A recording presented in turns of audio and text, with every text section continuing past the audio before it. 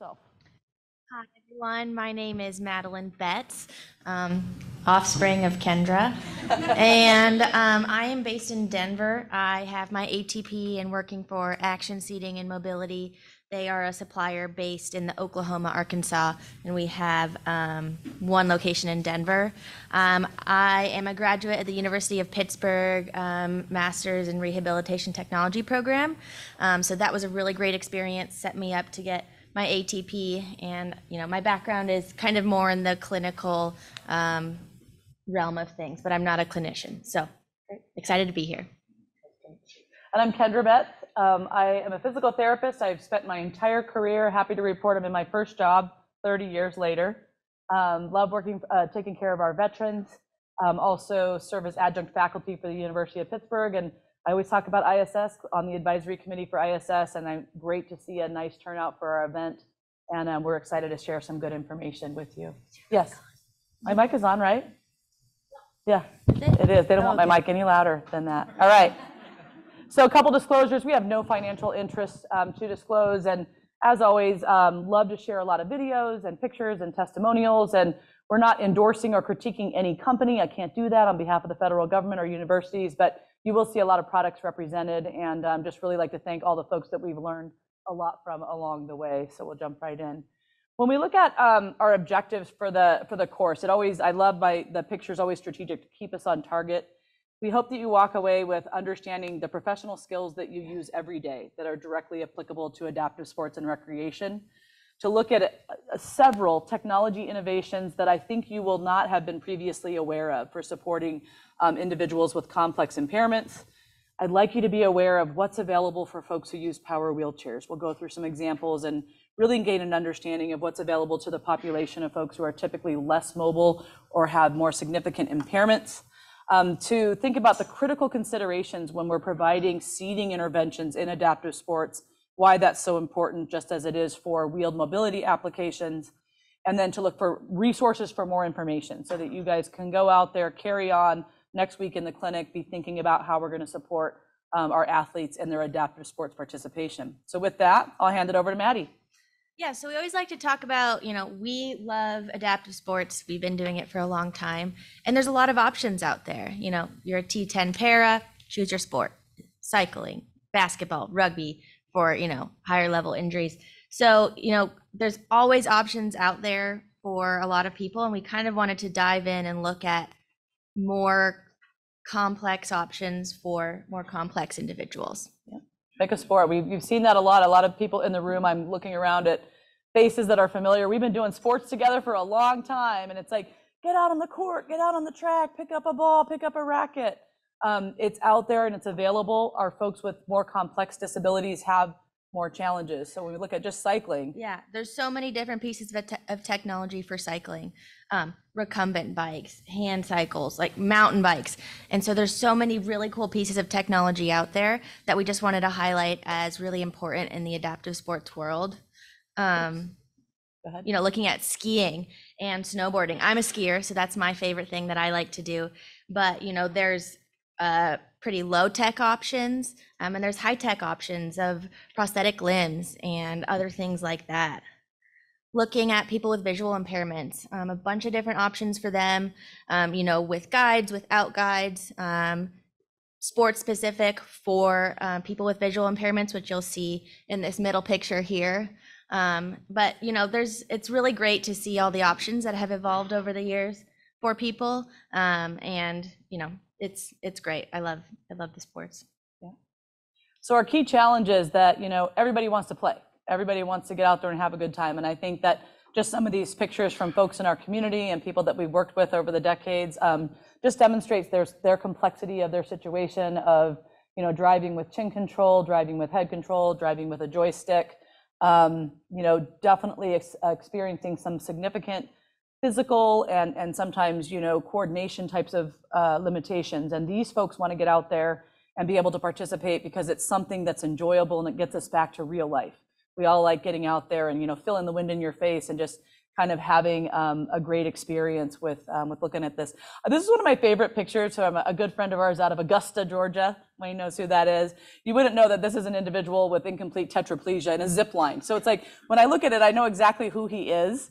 You know, and I'm like, oh, that is so cool that he's in a zip line. But I realize, yeah, no one else knows he's paralyzed. You know, like broke his neck. But you know, we put folks in zip lines and give. Sometimes it's that feeling of moving so fast, of having the wind whipping across your face that just makes you feel refreshed and revived and back in the game. And it's just really exciting.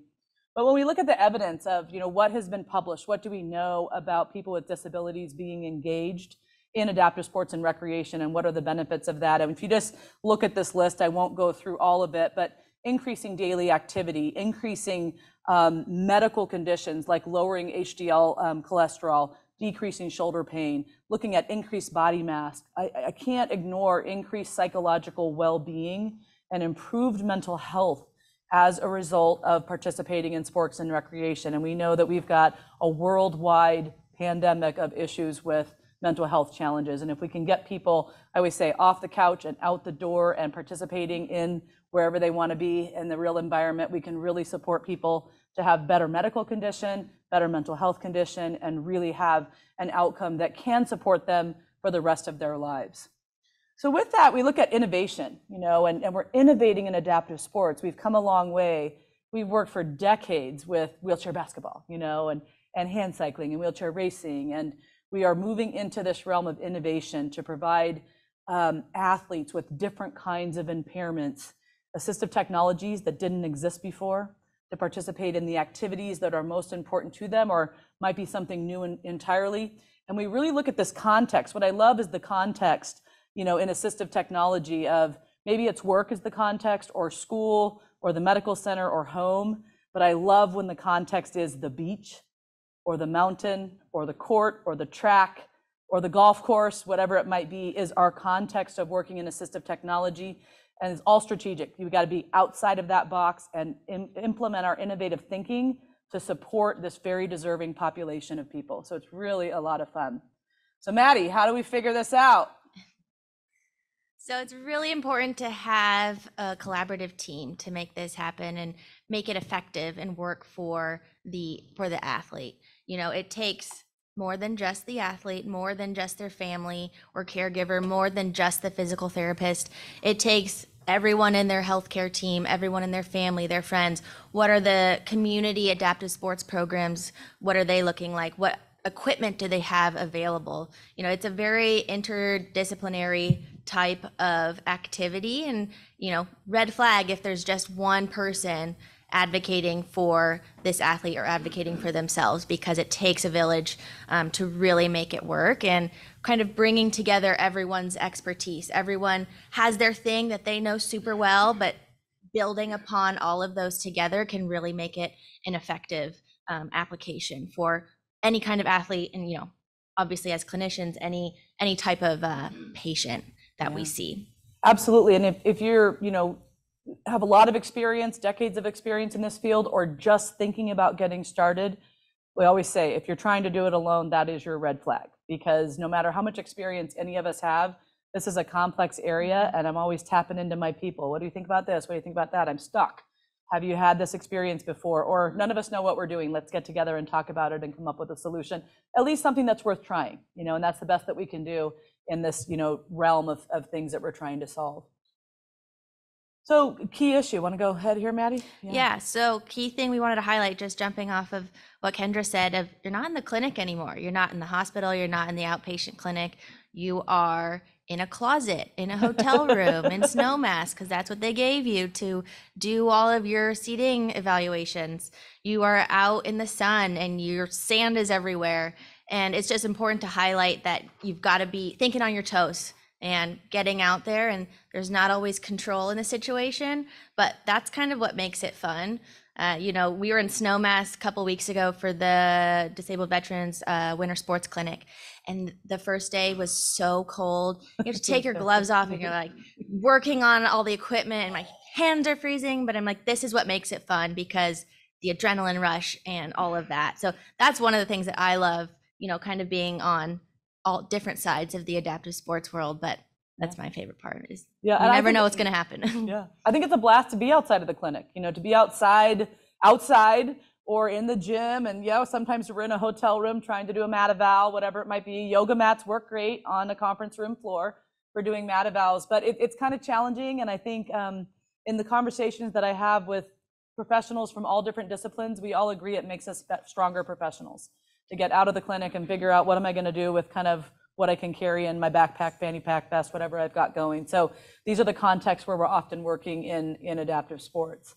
Um, I think consistent with the way that we're evaluating folks for wheeled mobility and seating needs, it's really the same approach to understand that human. Okay, we're looking at that human, and we really want to understand, in this case, the athlete and their perspective uh, as an athlete or as a prospective participant in sports and recreation. And again, we don't need to go through all of these basics, but we have to understand their medical background, their diagnosis, their prognosis, their functional skills, their mental health, their social condition, who's their network, because athletes need support as well. And especially if it's an athlete who's using complex technology to start with, we have to have a support um, system in place to um, help them to participate.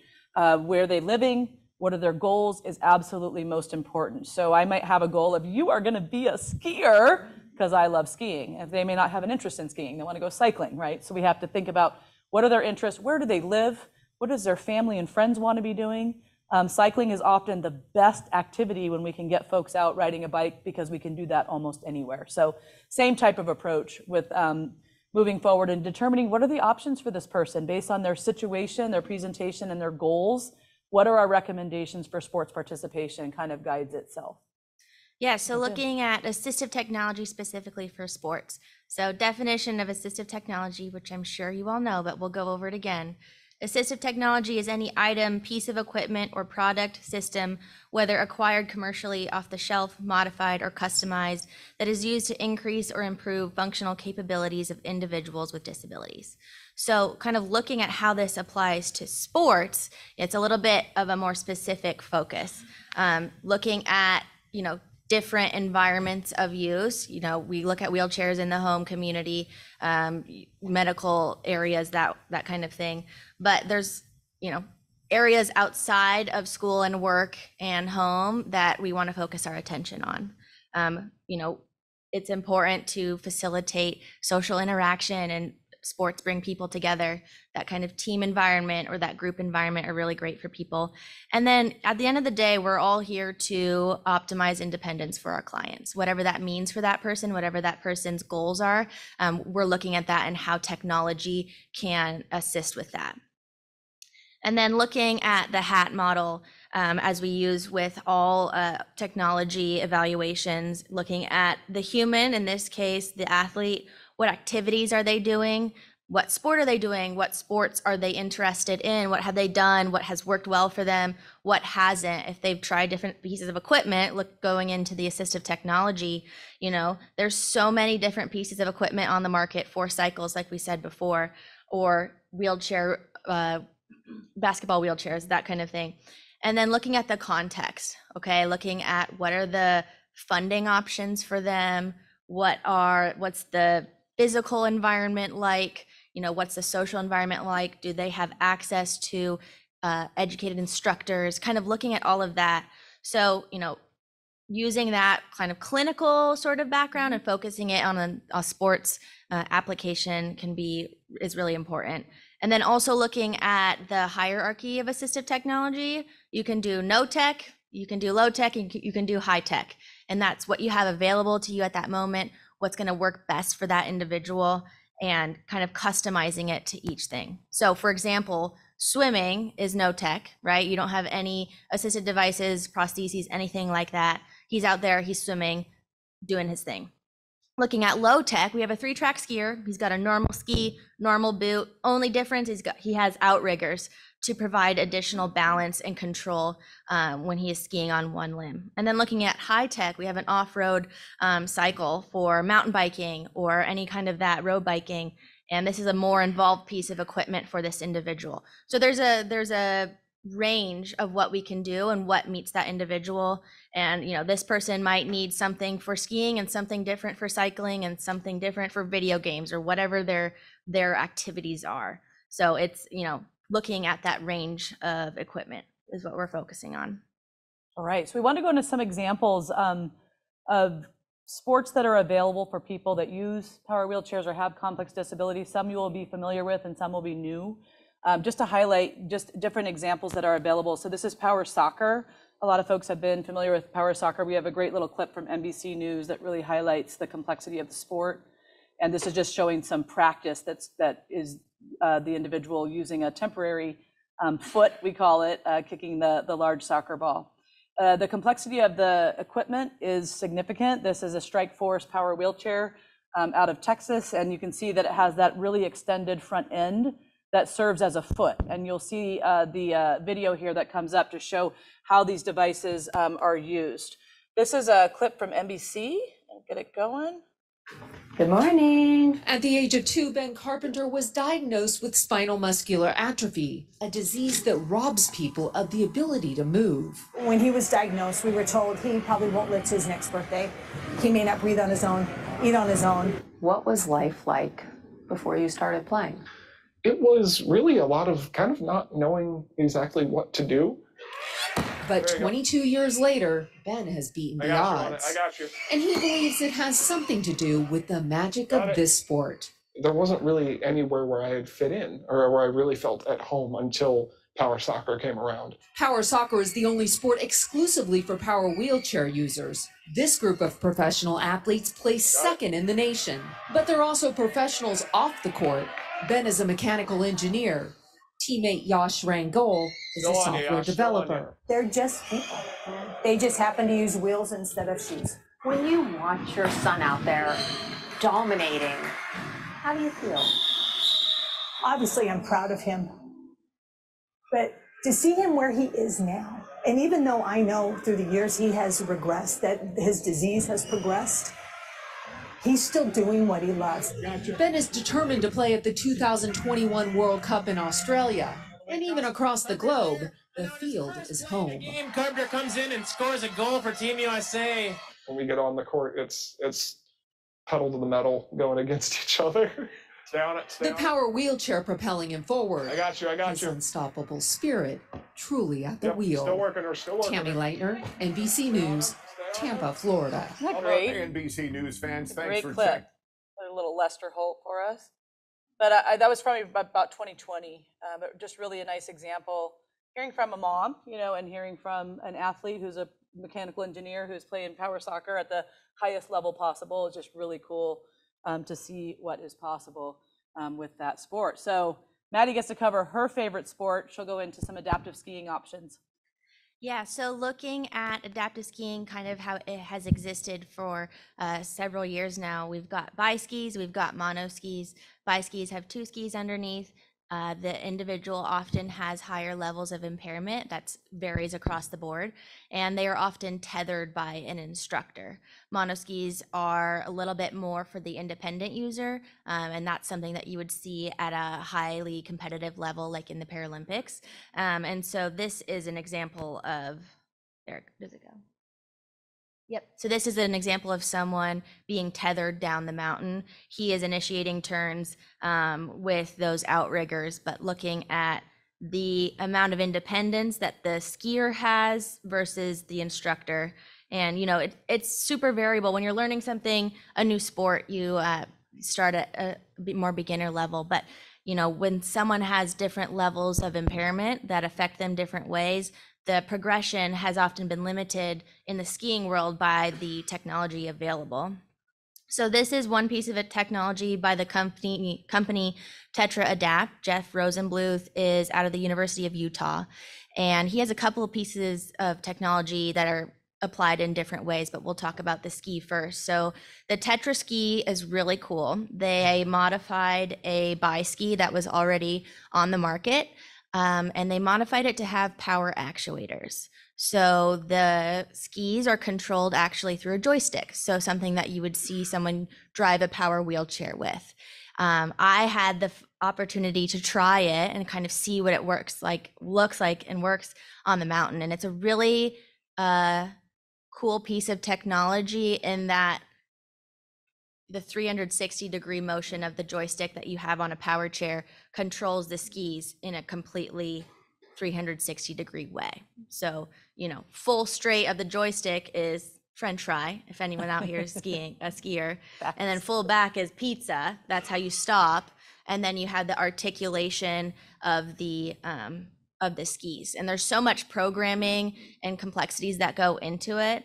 So this is a really interesting piece of technology. It's what five years old, It's been out about five years. Yeah, available. and they're constantly coming out with like new software drops and um, innovations that way. So this is just an example of how um, the power actuators can uh, independently move the skis. So this is a uh, simulator that someone would use kind of more in a clinics type setting to practice using the joystick. You can also operate it with a sip and puff.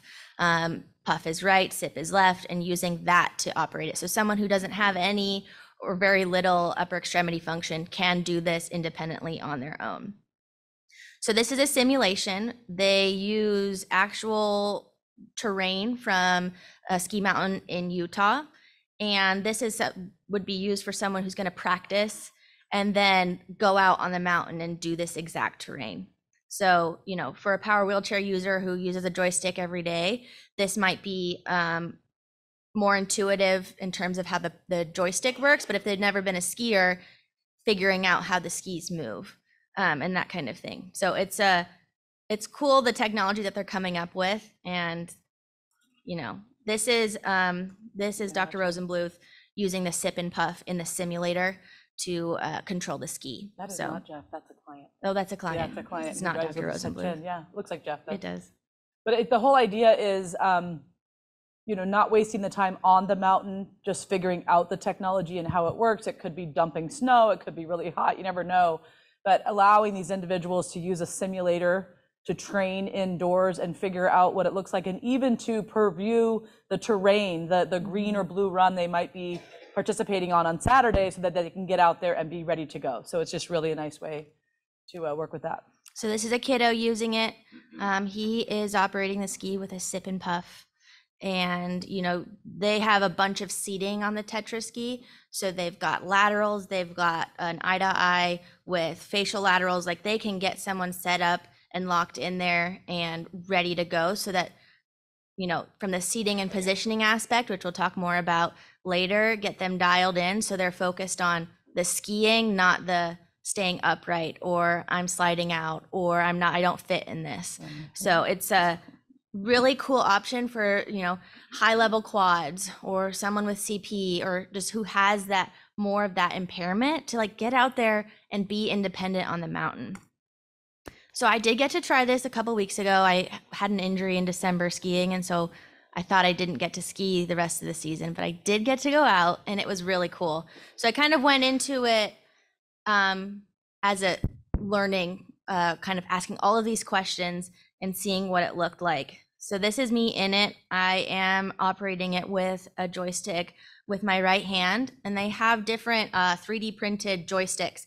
So they can kind of make anything that someone would use on their power chair. They have the goalpost, the long one. They have all of these options, and then they can make anything through this this Tetra Adapt. Um, and so I have in the left picture, I've got the eye to eye and the facial laterals, and they locked me in there. And I tried to emulate what it would be like to be a brand new Tetra ski user, because I am a brand new Tetra ski user. So this does go on the lift, and we'll show you a video in just a minute. But you know, anywhere that you would take a normal bi ski, you can take this. It does really great in the, in the powder. We had like probably six inches of fresh snow in Snowmass when I got to try it. So I was like, yes, get to ski powder one more time this season. And um, it's just, it's a really cool piece of technology. This is how the ski would be loaded onto the lift. So if you can imagine the chairlift comes around the bend and this is lifted up, you can do it with one instructor. So kind of how this works is the uh, skier can control everything through the joystick or the sip and puff, whatever the mode is. And then there is an instructor. They are tethered for safety, but they're not lowering the athlete down the mountain. The athlete has completely independent movement of the ski and their body in space. The instructor does have a remote that they can override mm. because, you know, I would just, I was doing the sip and puff and I would sip instead of puff because I don't use that every day and then I would go this wrong direction and they can override it. So it's a very safe application, but it means that someone can do this independently, that someone can get out on a mountain and go where they want to go, not to be bucketed down or lowered down the mountain via tethers. Um, so this was really great. The uh, seeing, we saw what, 13 veterans um, at the event get to use this, and it was amazing. One of my favorite uh, moments was we had worked on this, uh, we did an evaluation for this gentleman, kind of later stage MS, and had a pretty kyphotic posture and a lateral head lean. And, you know, he had been a biski user forever. And he was like, I really, really want to try this. So we got him out on two lessons. He was out there like ripping around the mountain. This other guy, the instructors were complaining that we turned him into a powder hound because he kept wanting to go in the powder. But like he could do that because he had the liberty to do that. And so when this gentleman came back, uh, he said to us, he says, you know what? It makes me feel like a human again, that I can take myself down the mountain and go where I want to go instead of being Yeah, was- under the control of someone else. So it's just it's just really cool to hear that like in practice to see from the beginning of the week to the end of the week that this guy got to go out and do it and he loved it and he might not get uh, as many opportunities for independence in his daily life but this gave him the option to do that. And he's like well so when can i do it again? Like okay we got to figure that out. There's a lot of logistics with it. But it's just it's a cool application for for someone with you know who doesn't have those opportunities maybe in other uh, sports or outlets. So this is someone driving the ski with a joystick. And you'll see the instructor behind them is just there as a, a safety backup not the primary uh, Someone feels like a mid-wheel drive power chair. Feels a little bit like a mid-wheel drive power chair, but you have the angulation of the skis at the same time. So like Maddie was saying, you know, straight for faster, wedging for slowing down, turn right, turn left, and come to a complete hockey stop. And what's nice. really cool is they've incorporated a lot of uh, similar concepts in terms of electronics and programming that you would see in a power wheelchair. So there's so many different, uh, like uh, speed in which it turns. So you know, there's the beginning, middle, and I'm sorry, beginners, and then more advanced programming levels. So they've got that track for the brand new Tetraski user and then someone who's been using it a lot. And one thing I wanted to note that I think is interesting, kind of just in the sports world in general, is you know brand new athletes versus um, people who are more experienced. I'm not a power wheelchair user, but I do know how to use a joystick in a power chair because I work as a supplier and do that every day. So that part was challenging, but I'm a skier, so I know how my skis are supposed to go on the mountain, how my skis are supposed to navigate the terrain and the snow and the bumps. And so it was interesting to kind of combine those two and seeing how someone who might have been a skier before their injury or someone who has never skied before, kind of like what that learning curve would look like. So I think it's a cool application. Um, highly recommend if you guys see it in any of your local adaptive programs. Um, they are out there and is a, is a great option. So in this sense, this is a super high tech option. Tech, tech, high tech. Yep. Who thought she could chat so much? Wow. Awesome. So we just wanted to share briefly the, the same technology developed out of the University of Utah that we've had the opportunity to play with a bit has been applied to sailing, adaptive sailing. So if you take that Tetra Adapt technology and, and they have implemented into the um, catamaran sailboat type applications and are able to take, again, very complex individuals. This individual is on a ventilator and managing the sail and his um, turning with a sip and puff system. This is a, uh, if you look closely at the rudder at the back of the boat, this is one of the engineers demonstrating how the sip and puff used to control the rudder that steers the sailboat um, out on open water. So you can see that if you look closely at the far right side of that, how he is using sip and puff to control the boat. This particular boat is the um, Hobie Mirage Island. You'll see this video. And you got to watch this video. It's pretty incredible. This is the Hobie Mirage Island. This is at a reservoir outside of Salt Lake City. And we'll kind of pan around. This is a, a professionally done video. So you have pontoons out on the side. That gentleman is a respiratory therapist because the individual that is manning the sails and steering um, high-level C3 tetraplegia on a ventilator. And we think it's pretty cool that, you know, you bring, get everybody out there as a member of the team, and when your respiratory therapists are saying, I'll go, you know, and manage the ventilator, make sure that there's no issues. They haven't had any issues with it yet, or uh, Dr. Jeff is a physiatrist, and he'll go out there and, you know, be the one to manage respiratory function or anything else, just in case. Um, really pretty cool what we can do with some folks with um, complex impairments. And again, check out their website. That's Jeff there on the left, and um, see what they're doing out in Utah. And and they've traversed it across the country. So, for example, we don't have a Tetra ski at every resort in Colorado, but we have a representative in Colorado that can um, travel to support those complex those people with complex impairments where they want to ski. So if they want to go to Winter Park, great. Let's meet there on the 15th and get all of that worked out. So it's becoming more inclusive um, with individuals that are participating there. Yeah. Um, I I don't think I put it up there. Uh, search Tetra Adapt. Tetra Adapt, University of Utah. Absolutely. So kind of shifting gears into some other sports applications, bocce is like the latest craze. It's so competitive. If you've ever been to like a, an official bocce competition, adaptive bocce, it's really intense. So it's really cool the different technologies that are available. Um, you kind of have kind of more of a simple ramp. So if someone maybe doesn't have function for uh, tossing the ball, I don't know if tossing is the official Is it tossing? I'm not. throwing. It's bocce. You know, like you guys do bocce in your backyard, Yeah. but it's bocce adaptive. So we call it bocce. Don't call it bocce. It's bocce. Mhm. Is it tossing? Do we toss it? I think so. Whatever the terminology is, it's very you throw cool. a stone. You throw a Yep. stone in curling, but yeah. There you go. So this is an example of a more complex setup for a bocce system. So he has uh, an attachment to his head, and he uses that stick to then drop the ball down the ramp. He has a helper who he instructs to uh, move the ramp as needed to um, like steer it, I guess you if you would say. Um, and she doesn't see the the court at all. So someone who has a high level of impairment is independent and you know, there are people going to the Paralympics for this and are world class athletes. And I just think that is so cool. Got to watch closely. Here it is. It's kind of a slow motion activity.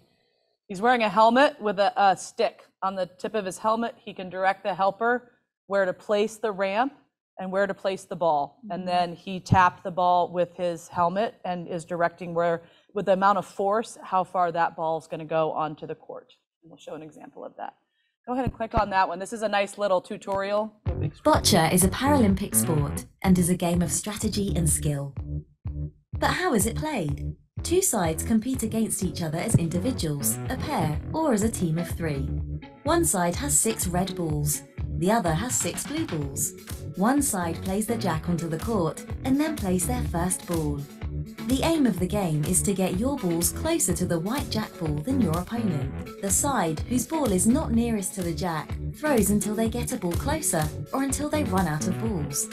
It is permitted to hit the jack, your own balls, or your opponent's balls. Once all the balls have been played, one side receives a point for every ball they have nearer to the jack than their opponent's closest ball. Individual and pairs play four ends. Team matches have six ends. At Paralympic level, players are divided into four classifications dependent on their impairment and functional ability. Boccia continues to grow internationally and provide opportunities for athletes with severe and complex impairments to compete at an elite level on the world stage. So cool. We love bocce because for in its initial years, it was dominated by individuals with cerebral injuries, cerebral palsy, others with anoxic types of brain injuries, and folks picked up on it. And, and then we went at the National Veterans Wheelchair Games, we opened it up to our folks who use power wheelchairs, trying to provide more opportunities for them. And now all the paras in their ultralight wheelchairs are like, we want to play bocce. So we have like 400 people during the week playing bocce because everyone wants to be part of it. Yeah, so these are some examples of some high tech bocce ramps. There's the website there for kind of that really uh, involved athlete, bocce athlete. Very customizable. All right, moving into archery, we have uh, more examples of things that can be done for archery. This is an individual T6 para. um, you know, in his everyday chair with custom seatings. I think he's got a ride custom seat in there to just get him, lock him in for stability, right? And then that allows someone with T6 paraplegia to sit, you know, unsupported and um, aim at the target. This is, um, you know, we're not supposed to have favorites, but one of my favorite veterans um, was injured with a with an, an aneurysm and has obvious right dense hemiplegia. And um, he was well, he was probably 15, 20 years post injury and well into his 40s when he discovered the sport of archery. And if you look at him closely, obviously we've stabilized his um, arm that he does not have control of. He typically drives a power wheelchair with a joystick, but competes from his manual wheelchair. And he's using a mouth tab. Okay, so not necessarily super high tech, but he's using a mouth tab to extend and then is releasing with his teeth. We have to have conversations with his dentist from time to time. But this is, um, you know, a way that individuals with one arm um, can compete. There's a high-level uh, American athlete that has triple amputations and competes with um, one leg and his mouth. Um, one leg and mouth does phenomenal on the stage. But what was really cool is um, this gentleman, uh, around mid 40s, 20 years post injury, um, competed at the 2012 Paralympics in London, which was quite an achievement for this level of impairment. Just really wonderful person. These are some adaptations that um, have been accomplished by our amazing colleagues in the VA. If you watch this individual, he also has um, dense hemiplegia, obviously on the right side. He is not using a mouth tab. I know it's a little bit hard to see it, and we'll show it a little bit closer. Look at the stamina that it takes. He is holding that. This is an active video the whole time you're watching it, and then releases that. And this is just, again, some innovation um, for his um, right hemiplegia. So there's a custom-made fabricated shield on his left shoulder with our, which our orthotists um, assisted in fabricating. They have a pulley system, and he's just using a carabiner with his right thumb where he has enough control to pull the carabiner to release the arrow. And again, just examples of creative thinking. Uh, people are coming up with ways to do um, activities that were not possible for people with these severe impairments before. Also looking at shooting, we've got an air rifle application. So he is engaging the trigger of the air rifle using a sip and puff system. This is at the wheelchair games. And, you know, for a lot of people, that's the better picture if you can see it. So, Show the stand as well. yep. And then the uh, air rifle is being held up by a stand. There's a couple different stands that people use based on what their needs are. Also looking at outdoor recreation, people love to get out there and, you know, do the activities that make them really happy. And this gentleman can go out and um, hunt as he, you know, as his as his hobby. And there are options for that. They have uh, mounts that can go onto a, the front of the power wheelchair for the rifles and other uh, guns, and um, also sip and puff and other uh, trigger engagements. Yeah, the company that does a great job with adaptive shooting is um, Be Adaptive for the assistive technology. So they have sip and puff systems, different types of access. They also have options for reduced force trigger. So if an individual only has, you know, minimal flexion or reduced strength in their hand, we can reduce the force that's required to pull the trigger, and that individual can then shoot. And then, like Maddie said, the stands, typically the position would be prone, which is prone on elbows. And so if an individual cannot stabilize the gun or has a resting tremor or something going on, we will provide them a stand. And they can also have a helper um, to assist with loading, um, anything that they need to do. These are air rifles um, in, our, in this case. So this is a fun one. Uh, so climbing, look at this individual. Uh, he um, has a, a limb Left upper quarter, including the Mhm. shoulder blade. And this is one of my favorite stories. So this little guy was probably six when we met him. He was at a local adaptive program in Denver, Adaptive Adventures. They kind of go all over, all over the U.S. And he wanted to climb. So this is Craig, one of a he's a phenomenal climber, um, amputee. And this kiddo has is, has three um, amputations, kind of close after birth. And so he uses his power chair. And this is him using some of the technology to climb the wall on his own. He went up that thing probably what three times. He Oh, lev- levered himself up the whole time. Oh, And we like this picture. So these are his siblings on the climbing wall with him. So he can get up there with his family. I mean, all the kids love to hang out with the siblings and have competitions. And so it's just really cool to see that, that, you know, this six year old can be out there and doing it on his own. He's obviously belayed. Um, and this is his family. It was just a fun summer activity where everyone could, could participate. They also did water skiing and cycling and some other things. So What's so cool about this camp, Adaptive Adventures runs this camp every summer that we call it Stars of Tomorrow.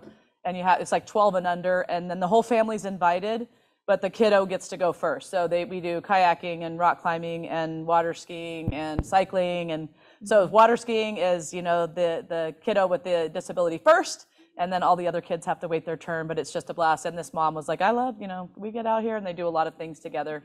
Really neat. What a cute little kiddo. He had a wonderful family. Yeah. All right, wheelchair curling, just a quick example of just, you know, challenging each other in innovation. Um, wheelchair curling, another uh, big fad of, things that we're seeing with some images of what it looks like. There's a, it's a, you throw the stone, and when you're using your wheelchair, it, you're not holding onto the stone, but you're using a stick to throw the stone. And so this is what it looks like from a manual wheelchair. This is one of our veterans competing at the 2010 Paralympics in Vancouver. Gives you an example. So they have an individual that stabilizes them from behind. They're in typically their everyday wheelchair, and then they're throwing the stone down to that target. And so, great colleague of ours, I have many colleagues here from the Seattle VA, said, What are we going to do for our power wheelchair users? And um, rec therapist Vance Pease came up with a prototype device to allow an individual with a power wheelchair to throw the stone. So, first created it out of PVC and then built it out of a stainless steel. And they're using it at the local um, ice arena to throw the stone while using a power wheelchair. So, you can see there's a lot of strategy involved with how fast you're going to move. I'll let you guys see that one one more time. People are kind of looking.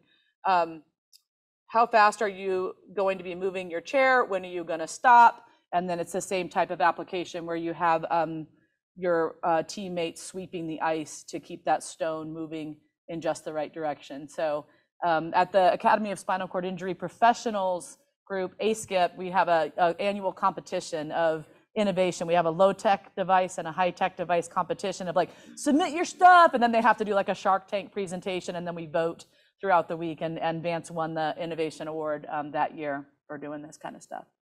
With all terrain power wheelchairs, um, we could talk for hours on all terrain power wheelchairs. There's a whole bunch of different options available. I saw a few of them in the exhibit hall.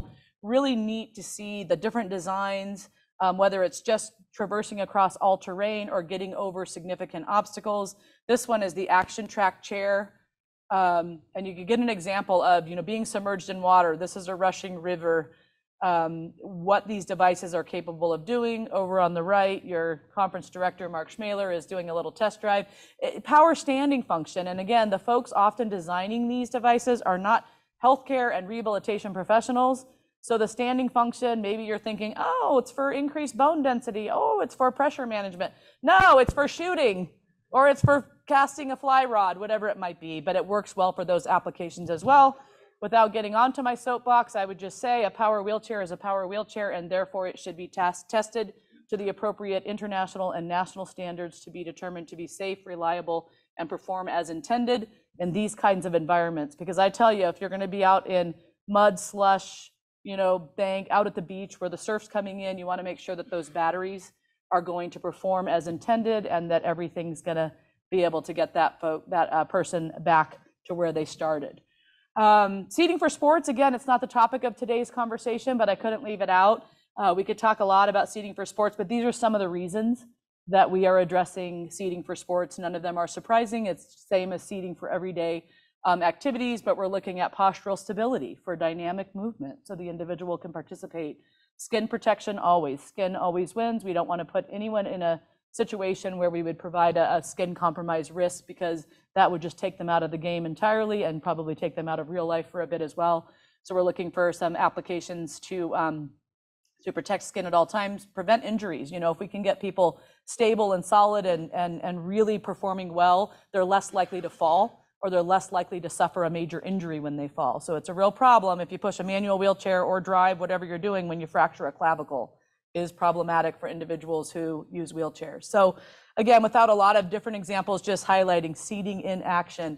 One of my favorites is on the left. Um, again, at our uh, Veterans Winter Sports Clinic, we kind of are willing to push the envelope and put our high tetraplegic folks on snowmobiles. And so we've come up with some adaptations to um, provide appropriate back support. And I'll tell you, Bodypoint ankle huggers installed on a snowmobile work fabulous for keeping paralyzed limbs on a snowmobile. Okay, and we also use go-kart harnesses. If you think about um, go-karts moving fast across a track and they're turning in figure eights, we're on snowmobiles moving fast, so we're using go-kart grade harnesses um, to sustain the G-forces as we're going around curves. And you know, it wasn't my idea to put paralyzed people on snowmobiles, but if we're going to do it, we're going to keep them safe.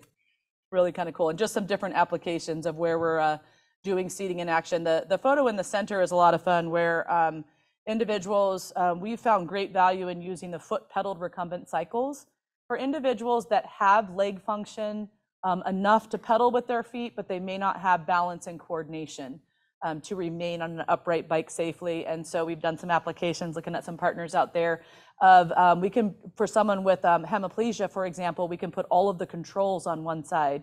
So all of the shifting, all of the braking with the right hand, both legs pedaling, and then the left hand can be, you know, for the ride along. It works out really nice, and we're doing some great applications out there. This is one of my favorite, um, you know, seating examples is, you know, with good seating and adaptive sports, um, you, we minimize the impact of a disability. So one of these two people has a severe polytraumatic injury, and we get them seated just right and put smiles on faces and out there having a blast.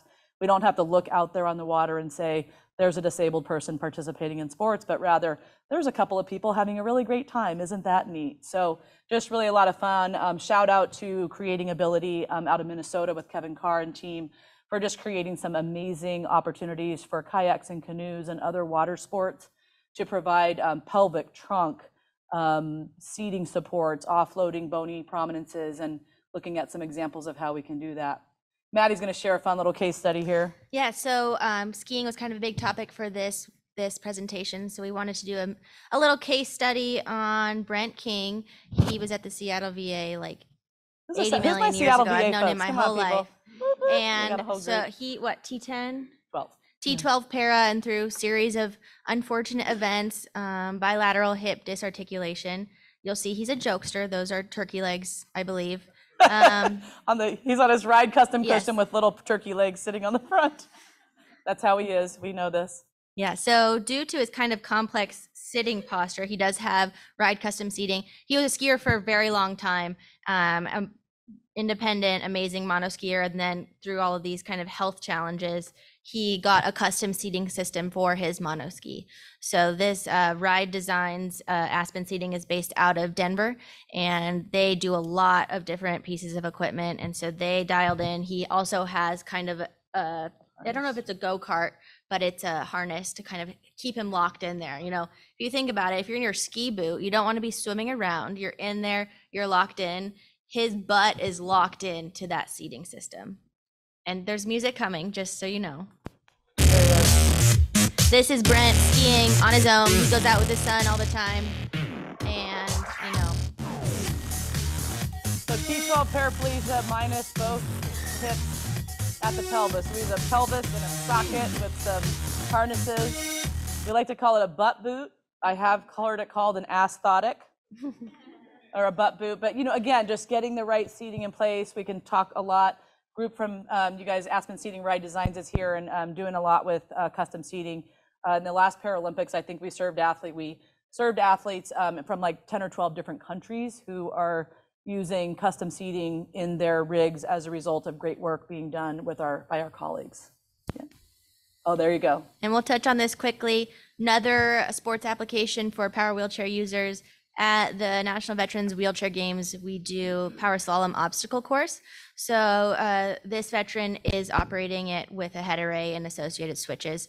And so she is out there. Here's another uh, veteran, but just another way for people to get out there and get involved in whatever it is they want to get involved in. Riding with a head array. The energy is there, participation. So what's, what's fun, I have some colleagues in the room that we've been involved with our uh, National Veterans Wheelchair Games for many years together. And it was always a manual wheelchair event. So we create these hardcore uh, manual wheelchair obstacle courses, and and folks that are full-time wheelchair users are out there. I mean, they're jumping stuff, they're going through sand pits and gravel pits and all of this. And many uh, several years later, um, we just said, you know what? We've got our power wheelchair users who are professional drivers, you know, with their head, with their chin, whatever they're doing, and we created classes of events and appropriate hardcore power wheelchair obstacle courses for these individuals to compete against each other. So it's just really been a lot of fun to be part of that. So, you know, our question is, are you up for this challenge, right? So all of you are here because you love wheeled mobility and seating, you love assistive technology. Um, we want you to challenge yourself to open up your ideas. Um, get out there, get out there. You want to uh, share some who some of these people are? Good. Yeah, so these are some of our veteran athletes. I'm, I'm there on the left, and then some of our team members, clinicians, other professionals who are getting out there, learning the technology. You know, the best way that you can teach it and expand awareness is to know how to do it yourself. And so, whenever you have the opportunity to use any sort of adaptive equipment, whatever that might be, we highly encourage getting it out there. And, you know, it's wonderful for a lot of different people for a lot of different reasons. So, Yeah, we just love the this the example of these are these are our colleagues out there trying different stuff, and it's the only way you can learn it. I guarantee you, you cannot learn this stuff in your clinic, at your desk, online. You got to get out there and do it. Find out what's going on your, in your community and start there. I have you show up and say, I have special skills. Let me help this population with your hand cycling clinic, and you will soon be welcomed back the following Saturday. Um, I want you to challenge your perception of athletes. So your next client with complex seating needs, needing a new wheelchair, whatever that might be, may have aspirations or may be, you know, a high-level competitive athlete. This is Paul Callahan, who we met in 2005, who had been on bed rest for two years with complex seating issues. And um, we got him up and about in his everyday chair to start with, custom seating in his sailboat, and went on to compete in 2012 in London. Just amazing um, with C6 tetraplegia. Um, be an advocate, right? You know who these people are, you know what their ambitions are, you know how motivated they are. I mean, just to live this life with the technology that they are able to incorporate in their everyday life is amazing. And to be thinking outside of the box about what some of the opportunities might be for what their skills are. You, you might ask them, they might come up with something you've never even heard of before. And it's like, let's think about how we can adapt that sport um, for you. Resources, there's a whole bunch of stuff out there. Um, I'll make sure that you guys have access to a PDF of the slides. Um, International Paralympic Committee, love the US Olympic and Paralympic Committee, no longer US Olympics and US Paralympics, but together. Um, national governing bodies for each sport. So I classify for USA Cycling. So when you go to USA Cycling, then you see all the, uh, the options for adaptive, whether it's visual impairment, physical impairment, whatever it might be. Um, disability organizations, ALS Foundation, Multiple Sclerosis Foundation, um, Blind Veterans of America, different types of organizations will then highlight opportunities available for your populations. And again, getting online and surfing what's out there for your sport of choice, um, you'll find a lot of options and a lot of assistive technologies that are out there. So shout out to some amazing colleagues. Um, we don't do this by ourselves. I got Dawn out there in this picture. Our whole team is here from our uh, event two weeks ago, and uh, we just learn from each other. You know, we all show up and go, I don't know, what do you think we should do? And we all work together and figure things out, and um, feel really blessed to be part, you know, be uh, able to participate and contribute to this very deserving area. So a lot of fun. I hope you guys um, will, you know, leave with some great ideas and support your folks. And believe it or not, mark the calendar. We do have time for a couple questions. You're welcome. There we go. All right. Maddie's coming around. Come on, you guys got good questions or comments, ideas? There we go.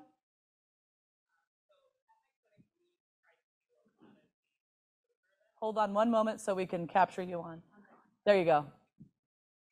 At my clinic, we try to do community events where where we find an organization or a group that is adapting an event that they already special or an activity that they already specialize in. Okay. So, for instance, we have archery this month. Oh, great, great. So we have a place that does archery for kids through adults, and they started an adaptive program. One of our biggest obstacles is always power mobility Yeah. users, and there's a lot of good technology out there. Even more so than that is ventilator dependent Yes, yes. individuals. So I have a few at the clinic that are interested in participating in things, but our options with what's out there already is limited. And she, one of my patients is very interested in water-based sports. So can Yeah. we get in the water? Yeah. Do you have a good resource for um, protecting the ventilator with water exposure and suggestions Yeah. for I. I will not pretend to be a subject matter expert on protecting ventilators from water, but I would tap into your respiratory therapists who are the experts on the technology and invite them to come along. You know, as you saw, invite them to be part of it. Um, talk with the manufacturers as well. So, you know, if, if you're taking someone out onto a boat or something, you can always tap into the manufacturers. Do you have suggestions for water tighting? They won't be thrilled to hear from you, but if you say we're going to do this anyway, Um, they might provide some suggestions for doing that. And if you get stuck, I mean, honestly, not a subject matter expert, but that University of Utah group is doing some great stuff with water. And so I'm always happy to defer to those who have figured this out, and, and we're happy to connect, connect folks. Great. It's a tough question, right? Ventilators and sports and water. I've actually seen someone scuba dive with Yeah. a ventilator, and I Yeah. teach adaptive Yeah, there you scuba. go. So it's really cool, but who does Yeah. it and Right. provides the equipment? Yeah, tough. These are tough problems to solve, but they're good problems to solve, right? Like, how do we take a person with a ventilator out in the water? Anyone know? Yeah.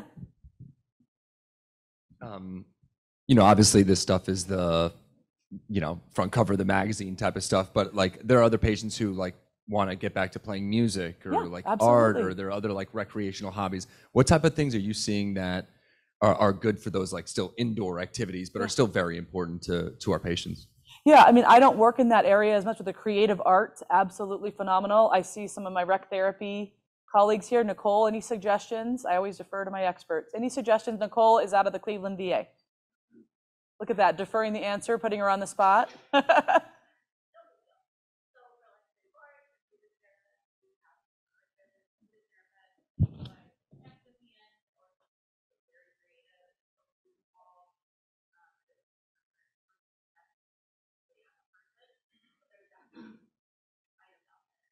Yeah. Yeah.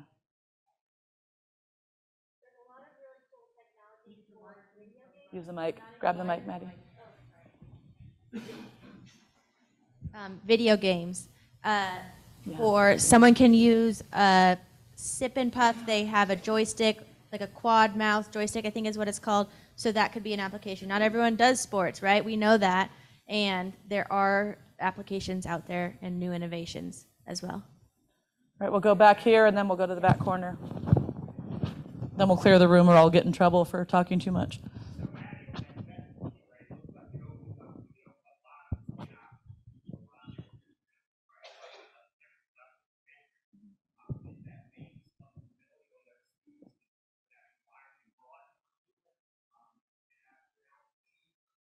Yeah, so as it comes, it has a very wide base of stability. I asked that question. I said, can this thing tip over? And I think they said the only situation is when you're on a cat track and there's a, a large grade change, but it was a very slow movement. And so in typical skiing down a mountain, it does not tip over. It's much wider base of support than a typical bi-ski. So